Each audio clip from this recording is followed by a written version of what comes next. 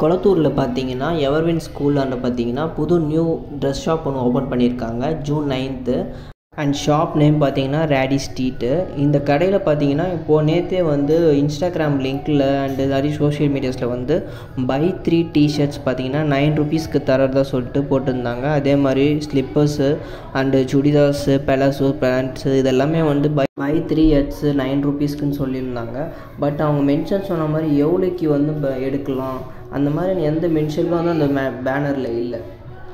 ஜென்ரலாகவே இந்த மாதிரியான ஆஃபர்ஸ்லாம் போடும்போது க்ரௌட் எதிர்பார்க்குறது வந்து நிறைய பீஸ் நிறைய வந்து சீப் அண்ட் ரேட்டுக்கு எடுக்கலாம்னு சொல்லிட்டு தான் வருவாங்க. அண்ட் இதை வந்து ப்ரீ பிளான்டாகவே இதுக்கு வந்து அவங்க வந்து முன்னாடியே யோசிச்சு வச்சுருக்கணும். ஜஸ்ட் கவுண்டர் சிஸ்டமாவது இது பண்ணி ஒரு டோக்கன் கொடுக்குற மாதிரியாவது அவைலபிலிட்டி பண்ணியிருக்கணும் நாங்களாம் வந்து ஒரு ஃபைவ் தேர்ட்டிக்கே வந்து போயிட்டு க்ரௌடில் உட்காந்தாச்சு ஆனால் வந்து என்ன நடந்தது பார்த்தீங்கன்னா க்ரௌட் ஓரளவுக்கு கண்ட்ரோலபிளாக வந்து செவன் ஓ கிளாக் வரைக்கும் இருந்தது. ஒரு எயிட் ஓ கிளாக் வரைக்கும் seven to eight o'clock வரைக்கும். அந்த கெஸ்ட்டு வராங்கன்னு சொல்கிற இதில் வந்து வந்து பார்த்திங்கன்னா இவங்க வந்து கரெக்டாக வந்து கஸ்டமர்ஸ் இவ்வளோ பேர் வந்திருக்காங்கன்றதே மறந்துட்டாங்க. அண்ட் வந்து கஸ்டமர்ஸ் நிறைய பேர் வந்து என்ட்ரி வந்து நிறைய க்ரௌடு சேர்ந்துருச்சு. அண்ட் போலீஸ் பார்த்தீங்கன்னா ஒவ்வொருத்தரும் வந்து நிறைய பேர் வர ஆரம்பிச்சிட்டாங்க. க்ரௌடு கண்ட்ரோல் பண்ண முடியலன்னு தெரிஞ்சதும். ப்ளஸ் பவுன்சர்ஸ் கூட வந்துட்டாங்க. செக்யூரிட்டிஸ் கூட இருந்தாங்க. செக்யூரிட்டிஸ் இருந்தும் அவங்களால கண்ட்ரோல் பண்ண முடியல. ஜஸ்ட் அவங்க ப்ரீ பிளான்டாக இவ்வளோ க்ரௌடு வருவாங்கன்னு தெரிஞ்சும் அவங்களால அதை கண்ட்ரோல் பண்ண முடியல. அவங்களுக்கே தெரியாமல் அவங்களோட ஒரு மூணு பாக்ஸ் ஷூஸ் வந்து திருட்டு போயிருக்கு. அது அவங்களுக்கே தெரியல.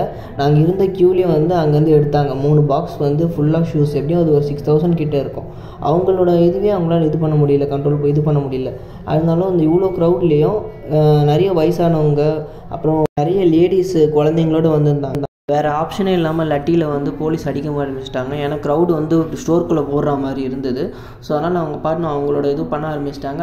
ஆனால் இதெல்லாம் வந்து நிறைய பேர் வயசானவங்க கூட அடிபட்டாங்க. அது அவங்க பார்த்தாங்களா என்னன்னு தெரியல.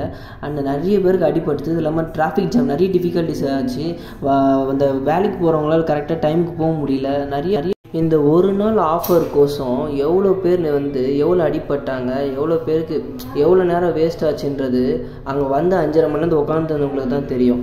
அவ்வளோ பேர் உட்காந்து ஒன்றுமே இல்லாமல் போனோம். கடைசியில் பார்த்தா மணியாந்த மேலே டோக்கன் இஷ்யூ பண்ணுவாங்கன்னு சொல்லிட்டு போகிறாங்க அப்போ காலையிலேருந்து இவ்வளோ நேரம் உட்காந்துருந்தவங்கள இதுவும் நிலமை என்னென்னு பாருங்கள் தயவுசெய்து இந்த வீடியோவை ஷேர் பண்ணுங்கள் அதுக்கப்புறமா சப்போர்ட் பண்ணுங்கள் ஏன்னா நிறைய பேருக்கு இந்த இஷ்யூ இதை பற்றி தெரிஞ்சாதான் இந்த மாதிரி நியூ ஷாப் ஓப்பனிங் அப்போ என்னென்ன ப்ராப்ளம்ஸ் இருக்குன்னு தெரியும். இது தெரியாமலே நிறைய பேர் வந்து வந்துட்டு சரி இந்த மாதிரிலாம் நடக்காதுன்னு நினச்சி தான் நம்ம வர்றது. ஆனால் இவ்வளோ க்ரௌட் மேனேஜ்மெண்ட் இவங்க ஃபாலோ பண்ணாமல் இருக்கிறதுனால எவ்வளோ ப்ராப்ளம் ஃபேஸ் பண்ணுறாங்கிறது உங்களுக்கு புரியும்.